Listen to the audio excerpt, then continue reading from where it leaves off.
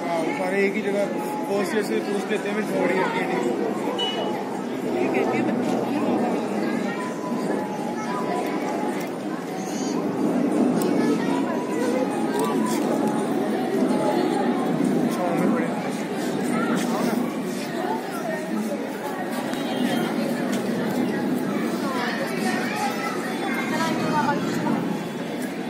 这能